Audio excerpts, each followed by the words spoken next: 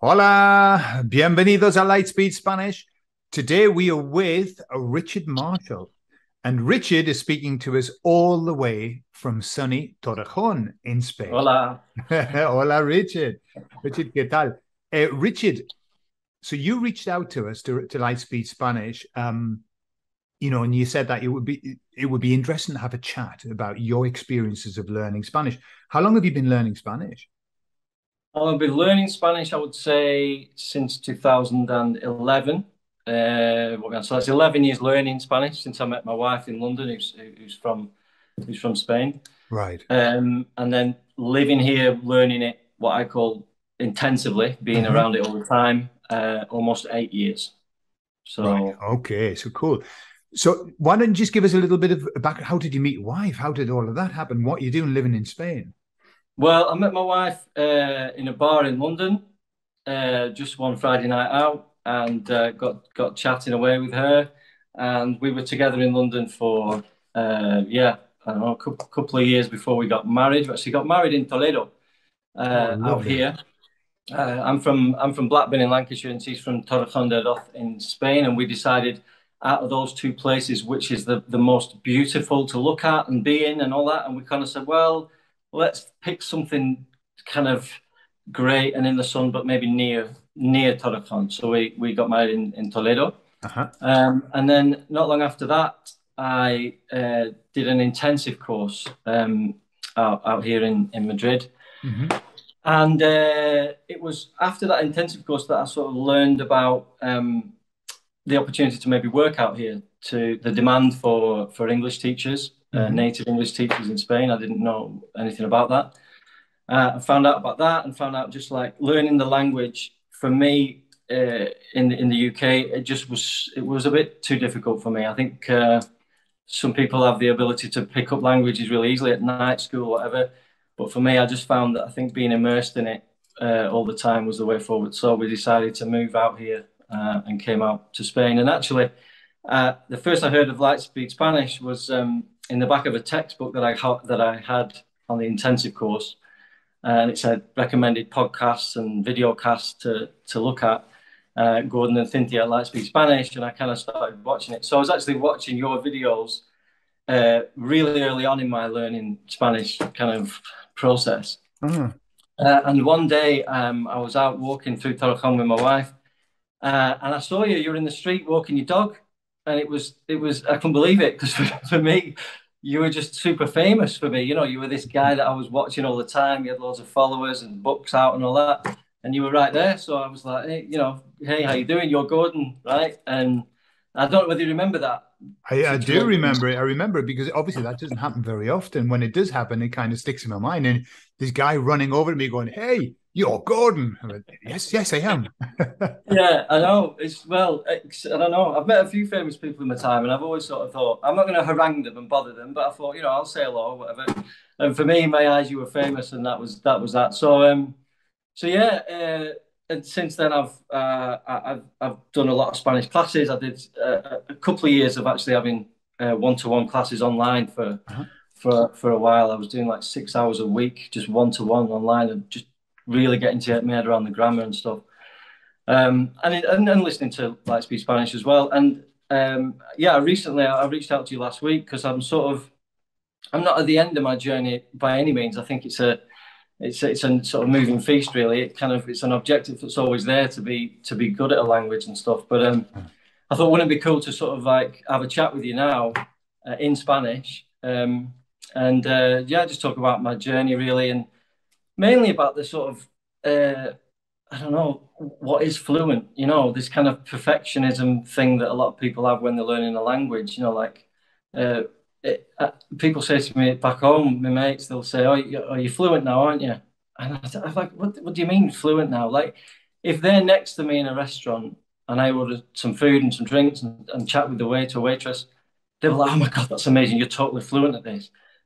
But that's in their eyes, isn't it? It's like how you frame it. It depends who you're with. It depends who's there. But then an hour later, I'm with my Spanish friends, uh, my Spanish family here, mother-in-law, brother-in-law, stuff, and I'm completely lost. I mean, I've, I, I can't keep up with the jokes. the the you know the cultural references. I've no idea, and I think I'm I'm awful at this. So mm. it's just it's I just think if someone had said this to me eight years ago, like it's okay, you know, relax, don't compare yourself to to sort of others, don't panic about it. You'll get there, you know, poco a poco, as they say here.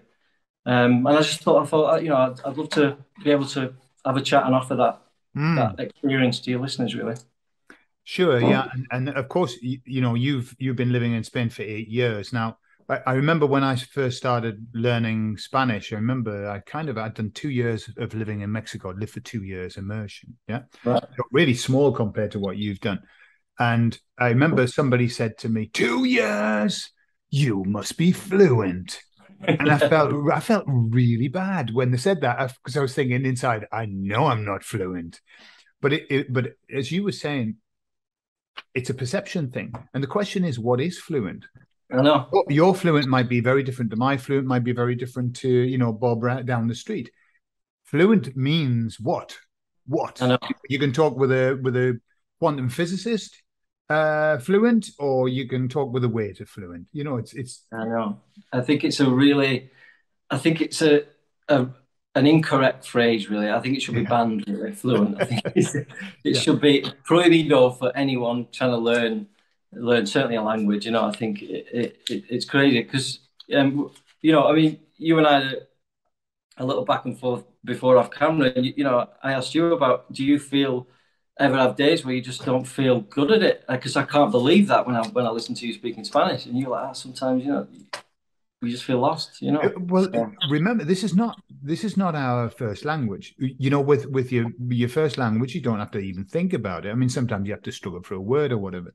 Mm. When when we when we're dealing with the second language that we've learned later in life, not as a child.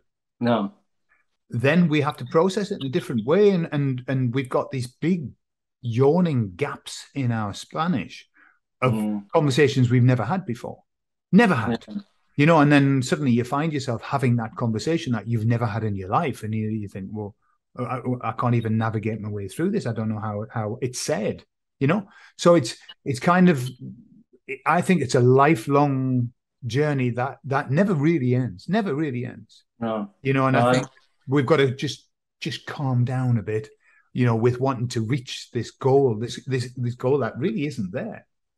I know what you mean. It's uh, it's also I think a lot, Gordon. I don't know if you agree with this. It depends on who you're speaking to and, and communicating with, doesn't it? I think um, because communication's a two-way street or a three-way or four-way street, whatever. And you know, with the best will in the world, if you trying your best to remember how it's said, if it's masculine, feminine, is it plural, plural, plural, or singular? And then suddenly you get this person who just has this, I say in Spanish, this, you know, cara de confusión. You know, they, they, they almost look at you before you've even started. They, have got this face of, huh? Uh-huh. Okay, no entiendo. And, and that kind of destroys your confidence a bit, you know. And you're thinking, well, sure. and the mascarilla, the, the masks as well, the, the pandemic mask. That was terrible. that was terrible. Trying to get anything done in this country with the mask, and then there'd be the plastic perspex between you and them, and they've got a mask and they speak fast. Some speak faster than others. I mean, that's the other yeah. thing. The pace of the language is, is massively different. So, you know, you can go out some days feeling uh, good about your language, and then all of a sudden you just come home thinking, "I'm this is awful. I'm rubbish at this," and then vice versa. Other days it's it's the opposite. You know. Do you know I read a book a long a long time ago, right at the start of my journey, and it was um it was by some famous musician who came to live in Spain, and it was called Driving Over Lemons. I think it was a series of books Right. He was talking about just that. The moments of absolute where you're just in your bliss. You're having a conversation, it's flowing. You're just think, this is, I've got this sorted. You know, and you yeah. have those moments, and then you have other moments where you just think, oh, I, am not even understanding. I don't know what what he's just said to me. You know, it's like the simplest thing, and you don't know what they said. And so it's kind of it's very very much like a roller coaster ride when you're oh. down. I mean, that's the beauty of it. It's fun, really.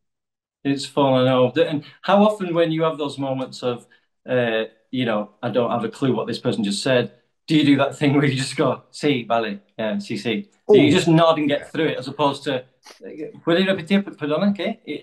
Because there's only so many. There's only so many times you can ask, isn't there? Yeah. You, you, know what I mean? There's only so many times you can ask them to repeat it as well. Because I, I'll go for, you know, I'll ask them once, perdona, ¿qué? but you know because you're in a you're in a bar, it's noisy, and I, you know, I, Yeah. I, I mean, you know, for my for whatever reason, I have this tin- tinnitus thing going on in my ears. So when you're in a bar, I can hear the television, I can hear the barman behind the bar, I Right, can hear the children in the street, but I can't hear the person that's in front of me. Or what have you just? So I'm I, I- I'm okay with saying, "Yeah, perdona, ¿cómo? ¿Qué? Yeah. ¿Qué has dicho?" But if they have to repeat it twice and I still don't understand what they said, I just let it go. You got to move on. I- sí, por supuesto. You know, Uh, I- I could be agreeing to anything. I could be agreeing to anything. You know, something really bad, but what the hell? I always I always liken it as well to sort of like a, a, a jigsaw puzzle, right? And and and I always think, look, if there are a few pieces missing in the puzzle, that's that's okay as long as the context is there and you kind of understand. You can get from A to B with a message. That's okay. You know what I mean? You don't have to fill in absolutely every single piece of the puzzle to just to just get there. It's and Exactly. it, that's okay. You know what I mean? It's that relax of not being too perfectionist about it. Just move on. It's like get from A to B, and if you don't know the words, just play a game with it, like Taboo. You know the game Taboo, where you can't mention some of the words below. You know, if you don't know the word for iglesia, right? If you just if you don't know that word and you're trying to say church in Spanish, and you just kind of go, eh, eh, bueno, fui a eh, el edificio donde la gente el, el, el domingo van para a Dios. Para hablar con Dios. just- and they'll tell you, you know, they'll say, ah, Iglesia. And you're like, ah, great, thanks. So it's like a mini game of taboo in a way. Do you know what I mean? And uh, that's all right. You know, if you don't know it, you're not so, so difficult to remember uh, X thousand words, isn't it? So just go easy on yourself. You know, that's kind of what I I'd think that's to- and that's a that's a, a great explanation of of how you have to talk yourself talk around things sometimes to get Yeah. there and and you know then then they help you then they help you but that's i think the level that we want to get to is that where you come to a roadblock but you know the way to get around the roadblock yeah.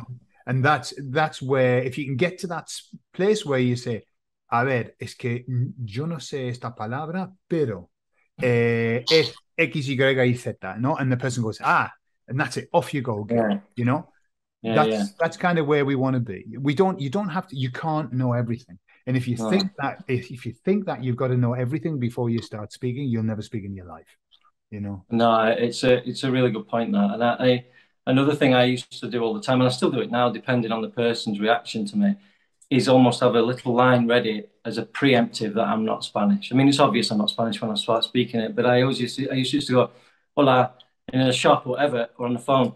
Eh, antes de nada, soy inglés. Um, eh, mi español es oh, así así, pero lo intentaré. You know, like I'll, I'll, I'm going to try. Like, Mhm. bear with me and that that kind of honesty and uh, being humble about it, it used to just really relax the people and go, okay, cool, well, he's having a go at least because you know I think we've also got to fight against this uh, stereotype of um, I'm going to say Brits, uh, whether it's I don't think it's the same with Americans and Australians and people, but you know the kind of Benidorm Brit, uh, lots of booze and goes in the red line and the bull's head, just hangs around with like their own British people, don't speak a word of Spanish, right? And I think in a town like this, anyway, there's not many uh, uh, extranjeros or guiris or whatever we want to call them. And I think as soon as you start and at least make an effort with it, they go, okay, he's not just your typical uh, on the beer Magaluf Benidorm Brit. He's, he's, he's made an effort. He's fitting in the culture. He's come to the Carnicería Pescaderia. He's, you know, he's doing all right. So they tend to give you a little bit of space. They give you a bit of leeway to make those mistakes as well. You know. Sure, of course. Yeah, I, I really haven't. Uh, um, I haven't experienced any. I mean, I, I remember when I went to Mexico, uh, the first question they said to me was, eh, "Eres hooligan?" Hooligan, you yeah. hooligan? What? No, I'm not. Um, but obviously, we yeah, we do have a reputation, but that's more that's more in the south. In Torrejon, you know, the, the it, Torrejon's filled with people who aren't from Torrejon. You know, Yeah. it- it- but mostly Spanish speaking people. You know. Yeah. So the the kind of um, and in here, in my, I mean, my zone, I'm the only I'm the only English in the village. Yeah. the, only, Uh, the only Brit in the village, yeah. and so uh but the the the nice thing and this is another this is another nice thing guys you, you give away where you were from the game the game that i play now is that people know that i'm not spanish clearly as soon as i start speaking Mm. don't know where i'm from And well, that's yeah, that's a that, really big deal there because normally uh, people from the UK are, are, can be spotted instantly because of the the accent that they bring with yeah, them. Yeah, yeah. my my my job has always been to to try, and often they think I'm German. Um, think German, yeah, yeah, okay, yeah, I see that. But the, the, the rarely do they say. Normally they say de donde, yeah, rather than eres inglés, ¿verdad? yeah, yeah, yeah. I know what you mean. That happened to me at the beginning. Were, it was proper obvious I was I was British, but yeah, slowly it, it changed. You know, I could have been from Poland. I could have been from from like you say Germany, or I could have been from Estonia. Like it wasn't they wasn't sure after a while. Yeah. But you know what sprung to mind actually when you say that, um, and I think this is a good tip as well for people learning a language, is if you're good at impressions, right? And you just did a Welsh impression then when you were quoting Little Britain if you're good at impressions and accents and that, and you're good at copying, imitating other people, then I think that's a good way to get your head around like Absolutely. getting a better accent in Spanish. You know what I mean? And I think, like, I, as a kid, I was always pretty good at impressions. We, me and brother used to watch like Eddie Murphy videos and Billy Connolly videos, and we always used to come out around the house. You must be out your goddamn mad. And we we were quite good at that, right?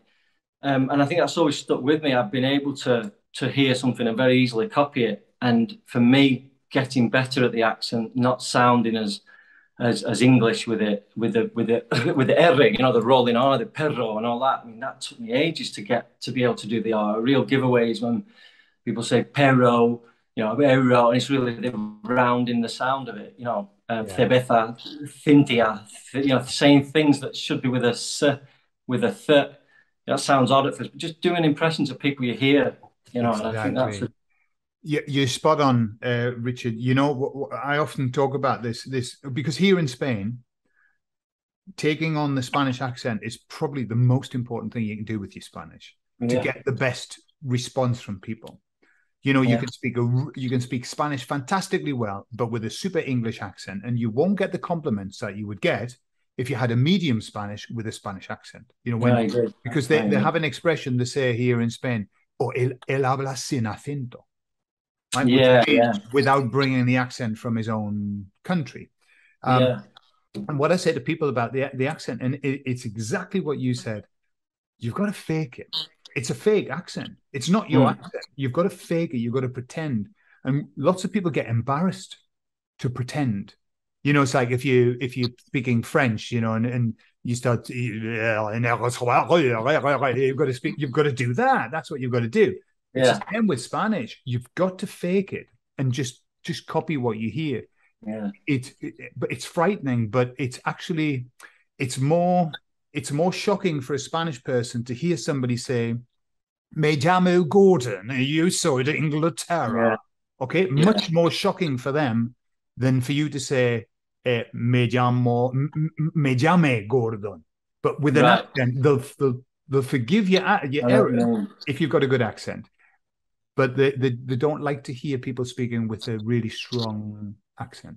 That, that reminds me of something you said once in a video some years ago now, but you're talking about it, eh, language being like a music, right? And you yeah. sort of saying when you're saying it, it's like hitting a bum note. I think you, you said exactly, yeah. And that that was really took home to me, you know. And it, it, you're right; they'll forgive you a little a little tense error. They'll forgive you a letter wrong here and there, but if it just sounds, you know, like you're reading it yeah, or I don't know. It's hard to explain it, but it's just wrong on the ear, isn't it? And and, and people and they, they, they won't even go near giving you that margin. Do you know what I mean? I sure. think the accents, the accents, definitely definitely important. But uh, as again, going back to what we were saying about it depends on who's listening, right? Mm-hmm. That, that that that reciprocity, right? That that sort of the other side of it.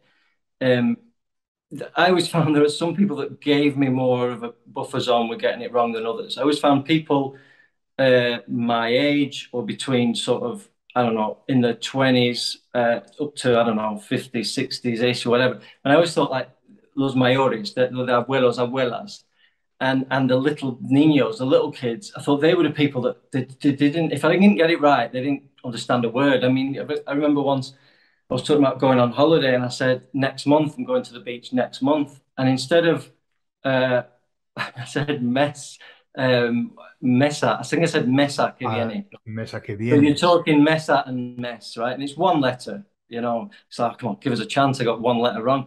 But it's a difference between saying month and table, right? exactly. And and you know, and if I say to someone like kind of my age around a part around, around a table, I say, yeah, see, la mesa que viene vamos a la, a la playa, right?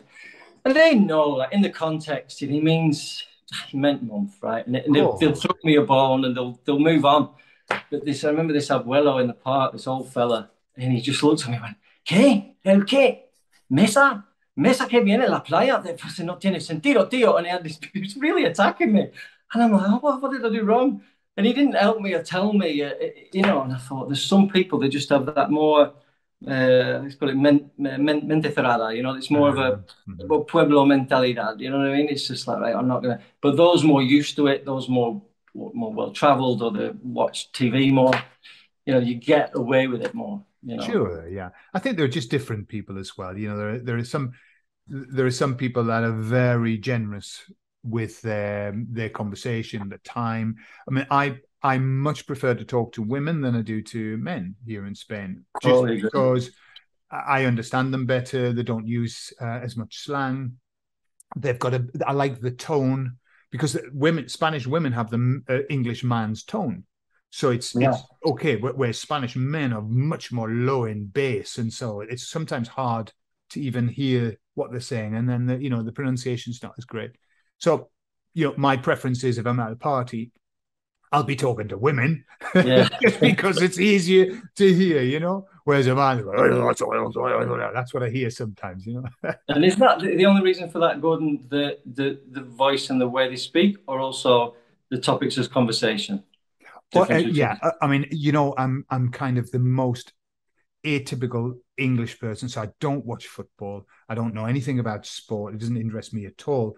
Um, and, and I don't I'm not interested in politics. I'm not and so what I what I find is that the, a lot of my my topics are not very interesting to Spanish men. No. And I know that's very generalized, but I mean we, I have beautiful conversations with Spanish men. I've had some beautiful conversations, but generally uh, I, I, kind of I, I, resonate more with Spanish women when I'm chatting to them. Yeah, no, I, I totally agree. That was kind of the reason I asked you because my my sort of playground of a classroom when I was going through the beginning stages of this was the Los Columpios, you know, the, the, the parks and all that, because I've got little children and I would have my Spanish theory classes online uh, while they were having the siesta or whatever. Uh-huh. And then I would get the, get the pram and we would go to the parks and then I would just be chatting and practicing. And the most of the time, the people uh, in the parks with the children were, were, were women, you know, mothers. So uh, there was a, there was loads and loads of practice and chats and I don't know the stuff we talk about like I've got loads of vocabulary that's around having kids. I've never had kids in England, you see. So pañales and toallitas and el carrito, la cuna. Like there's tons of words. I'll have to think about it to think, well, what is that in, in England? You know, like, in de, parque de bolas, you know, like I have English mates come over with the little kids and I'll say, vamos con parque de bolas. What's that? And I have to think, well, what, what, do you call that in England? I don't know. And they, oh, you mean one of them soft play centres with the with the balls and the yeah. Yeah, that's a soft play centre, but that seems too many words for me. I, I don't know. It's I think not... we, we, did we say ballpark? The ballpark. Or is that maybe? am, am, I thinking of something? Else? No, I think a ballpark's more baseball, isn't it? In America, if you'd say maybe different, but uh, no, maybe yeah. Depends where it is. When I was little, there was a place in Blackpool called Jungle Jim's, and that was that was the name of it. That was the brand La Marca. You know, that was the uh-huh. brand of it. And then everyone from from where we were from just said, "Oh, Jungle Jim's, you know, let's go Jungle Jim's." But there was only one in Blackpool so you went every five years if you were lucky. It was well expensive. So ah. I think I just some mates still call it jungle gyms. Yeah, jungle gyms. So does it happen to you now because you've spent a long time? I don't know how how often you get back to the UK. Um, but do you do you find that your your English vocab sometimes gets lost and you can think of the Spanish word but you can't think of the English word? Yeah, that's a really interesting point, Gordon. And I think a lot of it happens. I, I I go. I, I used before the pandemic. I would try and get back a couple of times a year just to see friends. So just a kind of weekend away. I think they call it here in Spain, like uh, what is it called? That's Fiesta de, de, de Solteros, almost like a stag do, almost. You know oh, mean? okay, okay. Uh-huh. Um, but um, but uh, recently in the summer, actually, we went as a family. We stayed uh, we stayed over in Clitheroe for for a month uh, out in England there, um, and it was weird because there were so many things that were strange to me. about the things that they had and didn't have in Tesco's. For example, uh, I went to the butchers and they didn't know when I ordered mincemeat that I wanted it cut from that piece and that piece and mixed. And like a lot of things that I only do here, I've only ever done it here. I've only ever really started cooking here and going shopping and buying fresh fish and all that. And it just bugged me that a lot of the things in England kind of like, this is odd, this is weird. And mm. I thought, there's a phrase in Spanish, isn't there, that it, it can be a real chip. You know, you, have sort of you've sort of changed your chip a little bit. And uh-huh. I think I think to answer your question, I've gone you go through a sort of cycle really. You know, you, at the beginning you sort of uh, a lot of things are strange, the cultural differences, and you start to, you just don't like it very much. You, this is weird. The, the rude, they're very direct. These people don't open doors for me. Why don't they use their indicators and all that? And you start getting annoyed by it. What the hell are they doing on, on a traffic island? What are they doing? Yeah, why are they parking? Why are they double parking everywhere? You know, the doble fila thing and all that. Just put the hazards on, park. But but then you you you you accept it you then you start doing it yourself, and then after a while you're thinking, "Hang on, I just ordered a drink and didn't say please there. I just said, you know, I just said "Ponme un café," and I, I, I, you become like it in the end, and sure, you know. Course, uh, course, yeah. So yeah, sometimes I do I, I, do get mixed with with the English words and phrases, and I always say that thing where they go. Where they say no at the end of a sentence. So, well, well, uh, pues, pues vamos a ir, no? Right. It's like the question of, let's do that, shall we? Um, and they don't really say that in, in the UK, right? So if I'm speaking English with my mates, well, yeah, but we'll, we'll do that then, no?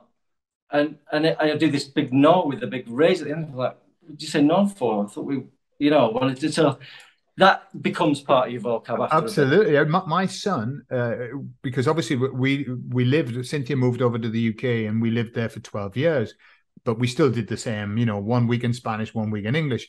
Um, and my son said to me, "Dad." why do you finish every sentence with no? Yeah, yeah. Because it, because in, it's a beautiful way to end a sentence. Yeah. You know, I mean, this, you can't complain about it. It's fantastic. You know, no, we do that. No, um, mm. but obviously, yeah, it sort of it, it, bled into my English. Yeah, yeah, it, it does though. I think it's like, um, it, it's faster. I think the Spanish language is is more efficient, right? Uh, especially with the pronombres. You know what I mean? Uh, déjaselo like it's just right. It doesn't matter if it's him or her. We're just going to use one word. Uh, and I, I, don't know. The law law covers so much as well. You know, um, lo importante, whatever. It's the saying the the the most important thing.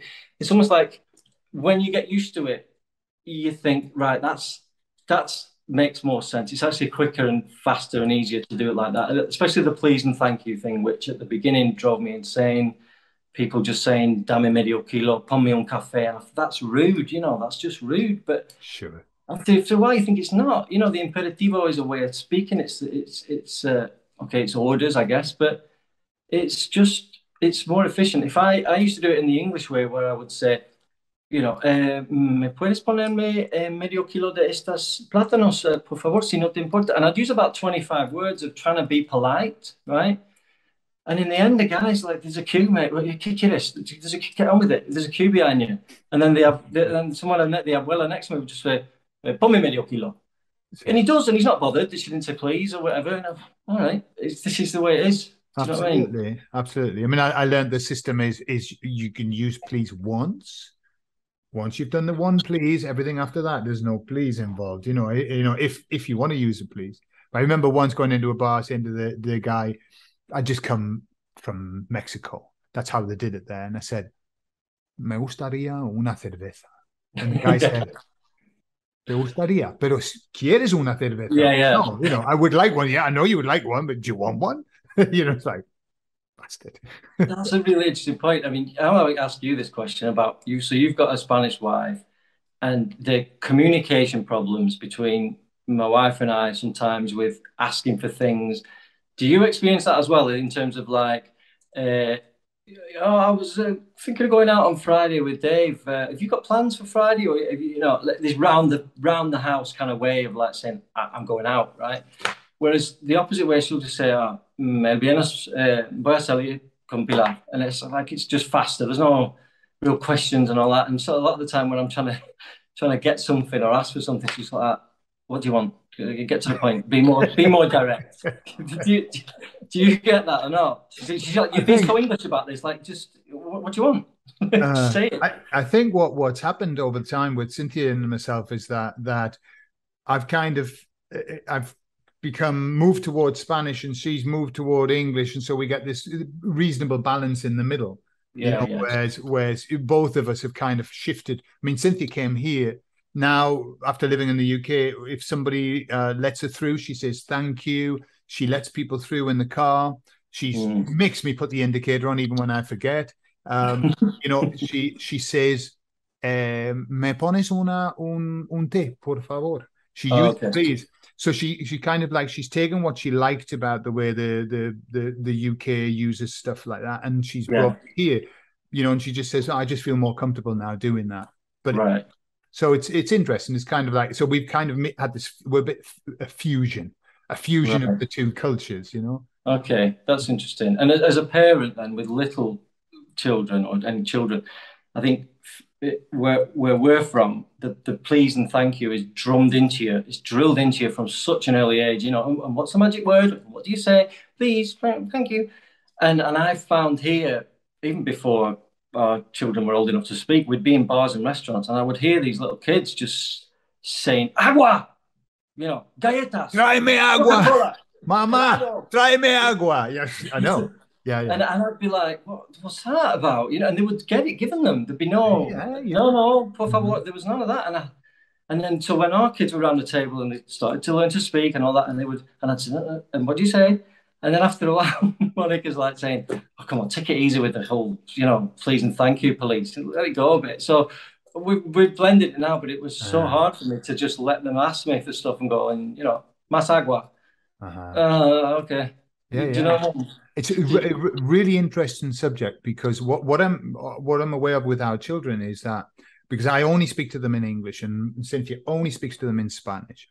Right. And so what I've done is I've inculcated them into them the the please and thank you. So Yeah. when they ask me in English for something, they say, uh, "Can I have some water, please?" And I said, "Yeah, no problem." And that's been with the uh, you don't ask like that. You have to say please. Yeah. But when they ask the mum, they don't. They ask it in the Spanish way.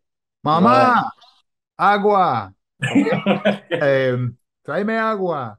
right. And that's absolutely fine because when I've tried to get them, I mean, with my parents-in-law, I, I got in, into trouble with uh, off them for for m- making the kids say please and thank you. It's No se hace aquí. No es necesario. Déjales. Okay. Um, and and so so basically it's it's just beautiful to see the two cultures that they've got because if they go back to the UK, I want them to be pleasing and thanking you. Because if not, they're going to upset Yeah. people. You know? Totally, totally. They have to be. They, they, like you say, they're going to be in a lot of trouble and looked at as very bad mannered if if they're not doing that, right? So Yeah. yeah, it's a very similar situation. It's it's very very similar Mm, Uh, mm. to us. Uh-huh.